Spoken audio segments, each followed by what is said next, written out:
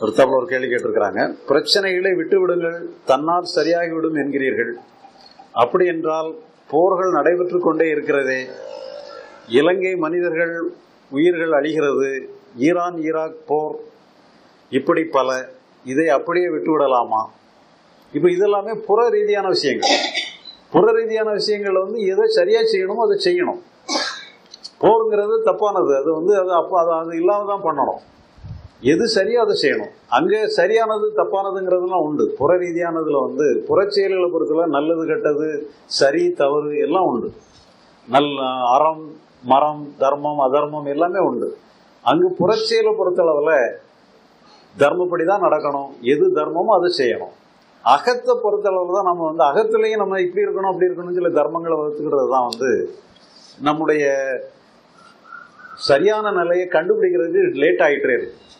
இல்லைங்கன்னா அப்படியே நம்ம சில நம்ம அகத்தில் நம்ம போராடிட்டு போராடி போராடி முயற்சி பண்ணி கடைசியில் முடியலைன்னு சொல்லி கடைசியில் புத்தர் கண்டுபிடிச்சி எல்லா பிரச்சனைகளையும் முட்டி மோதி கடைசியில் கண்டுபிடிச்ச மாதிரி கண்டுபிடிக்கலாம்.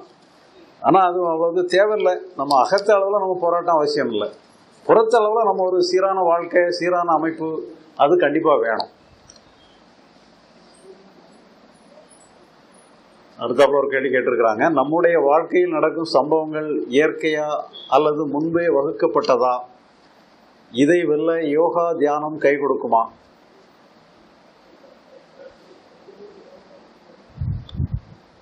இப்போ இதுல இதெல்லாம் நம்ம ஏற்கனவே இந்த கர்மா தேரியை சொன்ன இதுல கிட்டத்தட்ட இது வந்துடும் இப்போ உதாரணமா ஒரு சம்பவம். அதாவது என்னுடைய நண்பர் ஒருத்தர் இந்த இந்த அதாவது சாய்பாபாவுடைய பக்தர்.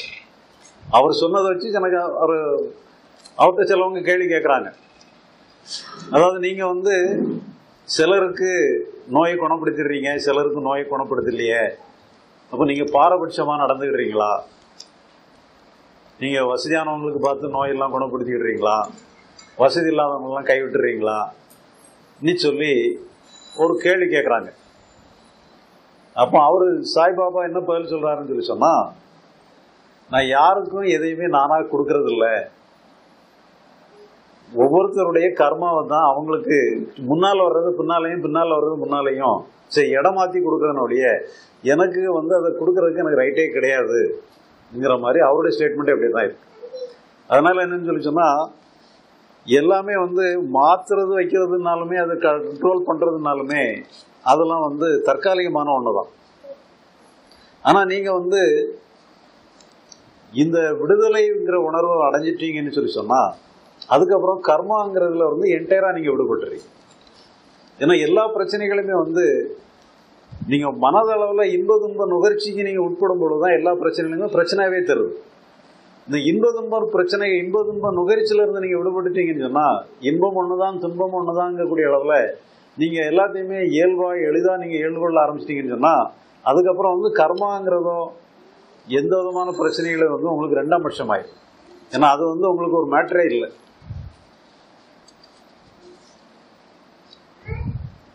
அடுத்தாப்புல ஒரு கேள்வி கேட்டிருக்கிறாங்க. குரு சீடனிடத்தில் நடந்து கொள்ள வேண்டும். சீடன் குருவினிடத்தில் எப்படி நடந்து கொள்ள வேண்டும்? குரு எப்படிப்பட்டவராக இருக்க வேண்டும்? தயவு செய்து விளக்கம் தருமாறு கேட்டுக்கொள்கிறேன்.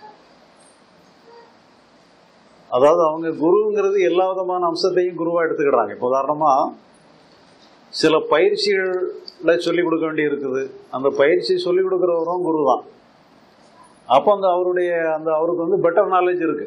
ஏன்னா அந்த சீடனோட அதை பற்றி ஒரு தெளிவான கருத்து இருக்கிறதுனால அவர் அதை பற்றிய க எப்படி அணுகணும் எதெல்லாம் செய்யணும் எதெல்லாம் செய்யக்கூடாதுங்கக்கூடிய அளவில் அந்த குரு வந்து சொல்லிக் கொடுக்கக்கூடிய கடமை இப்போ ஏற்பட்டிருக்கிறார் ஆனால் ஞானத்தை பொறுத்தளவு என்னன்னு சொல்லி சொன்னால் இங்கே வந்து புரிய வைக்கணும் அவ்வளோதான் ஒரு விஷயத்த வந்து ஒரு ஏழு ரெண்டு இருக்கும். ஒரே அணுகுமுறையில இருந்து புரியணும். இதில் வந்து உயர்ந்தவர் தாழ்ந்தவருங்கக்கூடிய நிலை இருக்கக்கூடாது. அந்த விஷயம்தான் அந்த பெரிய தெரிய வேண்டிய விஷயம்தான் அங்கே முக்கியமாக இருக்கணும். அது சொல்லிக் கொடுக்குறவர் யாருங்கிறதே அங்கே இருக்கக்கூடாது. நம்ம தெரிய வேண்டிய விஷயம் நமக்கு இம்பார்ட்டண்ட்டாக இருக்கணும். அதை விளங்கிக்கிடணும். இது சொல்லிக் கொடுக்குறவர் யார்கிட்ட இருந்து வருது எப்படிப்பட்டவருக்குங்கிறது முக்கியம் கிடையாது. அந்த விஷயத்தை நம்ம விளங்கிடணுங்கிற ஒரு நிலையில இருக்கும் பொழுதுதான் அப்போ வந்து அந்த குருவும் சொல்றவரும் ஒரு சக சகஜமாக இருந்து ஒரு சக மனப்பான்மையிலிருந்து சக தோழனாக இருந்து சொல்லி கொடுக்கக்கூடிய அளவில் இருந்தால் தான் அந்த ரிலேஷன்ஷிப்பில் தான் வந்து ஞானத்துக்கு வந்து சரியாக இருக்கும் இங்கே வந்து நான் சொல்கிறத நீ கேளுன்னு சொல்கிற மாதிரிலாம் இருக்காது.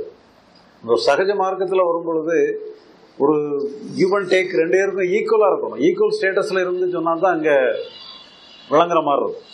நான் உயர்ந்தவன் நான் சொல்கிறது நீ அப்படியே கேளு நான் அப்படி பின்பற்றணுங்கிற மாதிரி சொன்னால் இருக்கக்கூடாது.